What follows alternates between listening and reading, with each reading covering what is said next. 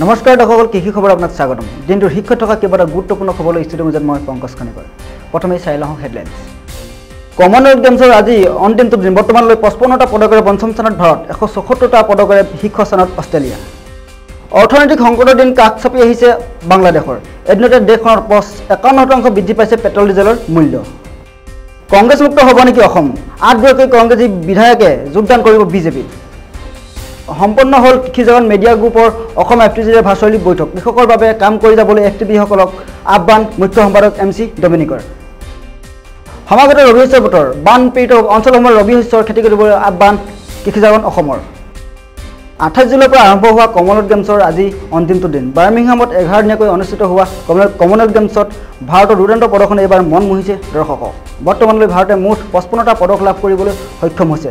ওঠৰটা সোণ পোন্ধৰটা ৰূপ আৰু বাইছটা ব্ৰঞ্জৰ পদকেৰে পঞ্চম স্থানত থাকিবলৈ সক্ষম হৈছে ভাৰত। উল্লেখ্য যে অন্তিম দিনাৰ খেলত ভাৰতৰ ভাৰতৰ পদক ছটালৈ বৃদ্ধি হোৱাৰ পূৰ্ণ সম্ভাৱনা আছে। বাৰ্মিংহামত অনুষ্ঠিত হোৱা দুহেজাৰ বাইছ বৰ্ষৰ কমনৱেলথ গেমছত পদকৰ তালিকাৰ শীৰ্ষস্থানত আছে অষ্ট্ৰেলিয়া।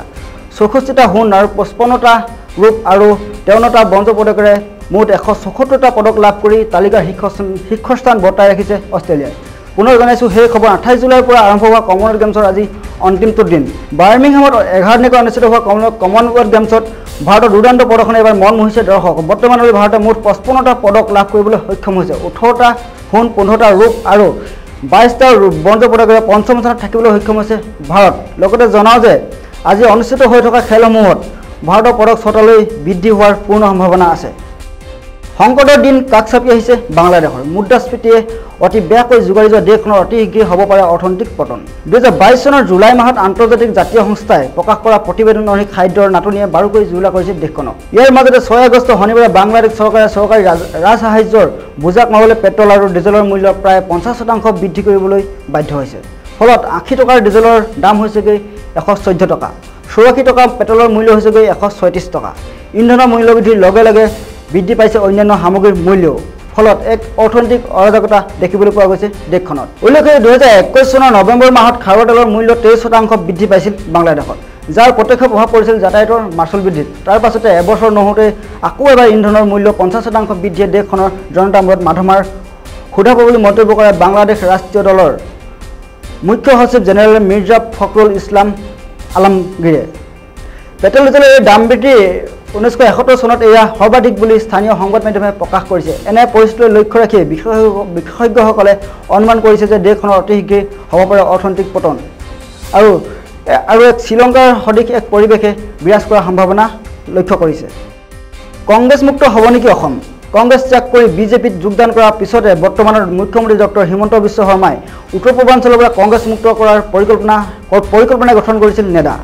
তাৰ পিছৰ পৰাই উত্তৰ পূৰ্বাঞ্চলত কংগ্ৰেছৰ শক্তি দুৰ্বল হৈ পৰা পৰাই নহয় ক্ষমতা হেৰুৱালে কংগ্ৰেছে।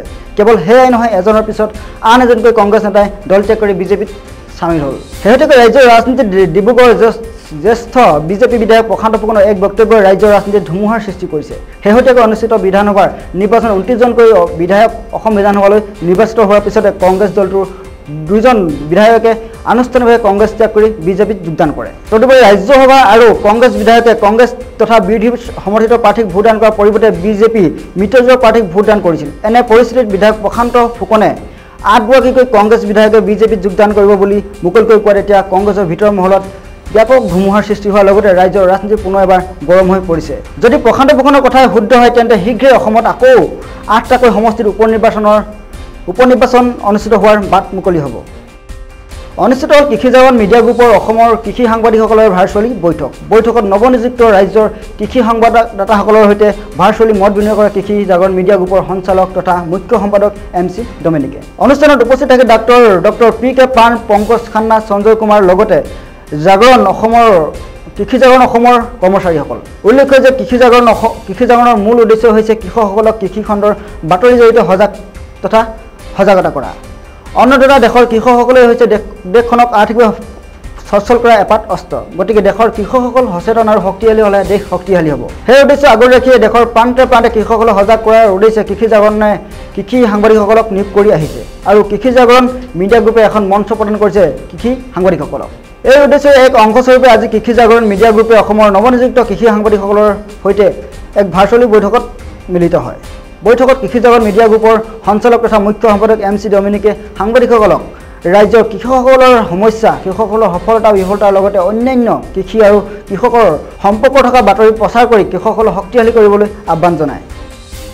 ৰবি হৈছে অসমৰ খেতিয়ক ৰাইজক বিশেষকৈ বান বিধ্বস্ত অঞ্চলৰ কৃষকসকলৰ প্ৰধান ভৰসা। কাৰণ বানে মৰা খেতিডৰাত বা পানীৰ বাবে মাটি ৰুব নোৱাৰা মাটিখিনিত ৰবি শস্য খেতি কৰি লাভৱান হ'ব পাৰে অসমৰ কৃষকসকল। বানপানীৰ ফলত যিবোৰ পথাৰত বালিৰ পাতলীয়া পলস পৰিছে তেনে পথাৰত প্ৰধানকৈ শাকজাতীয় শস্য লাই পালেং চুকা আদি খেতি কৰিব পাৰে কৃষকসকলে। ফুলকবি বেঙেনা জলকীয়া ৰঙালাও জাতিলাও চিৰাল আদি বানে পলস পেলাই থৈ যোৱা পথাৰত যথেষ্ট ভাল হয়। শাক পাচলি খেতি খেতিৰ উপৰিও অসমৰ প্ৰধান ৰবি শস্য সৰিয়হ আলু ঘেঁহু মটৰ মাহ মচুৰ মাহ আদিৰ খেতিতো কৃষক ৰাইজে মনোযোগ মনোনিৱেশ দিব পাৰে। ৰবি শস্যৰ ভিতৰত আন এবিধ লাভজনক শস্য হৈছে মটৰ মাহ। মটৰ মাহৰ খেতিও বানপীড়িত অঞ্চলসমূহত কৰিব পাৰে। ৰবি শস্য হিচাপে বেষ্ট লাভজনক খেতি হৈছে আলু খেতি। পিছে আলু খেতিত লাভ যিদৰে বেছি ঠিক সেইদৰে মূলধনো বেছিকৈ খটাব লাগে। কাতি মাহৰ আৰম্ভণিৰ পৰাই শেষ আঘোণলৈ আলু ৰোপণ কৰিব পাৰে। বানপীড়িত অঞ্চলসমূহত এই খেতিসমূহ কৰি অসমৰ কৃষকসকলে যথেষ্ট লাভৱান্বিত হ'ব পাৰে। কৃষি বাতৰি আজিলৈ ইমানেই। শেহতীয়া খবৰসমূহ পাই থাকিবলৈ ছাবস্ক্ৰাইব কৰক আমাৰ চেনেল কৃষি জাগৰণ অসম। ইয়াৰ লগে লগেই ষ্টুডিঅ'ৰ মজিয়াৰ পৰা মই পংকজ খনিকে বিদায় লৈছোঁ। ধন্যবাদ।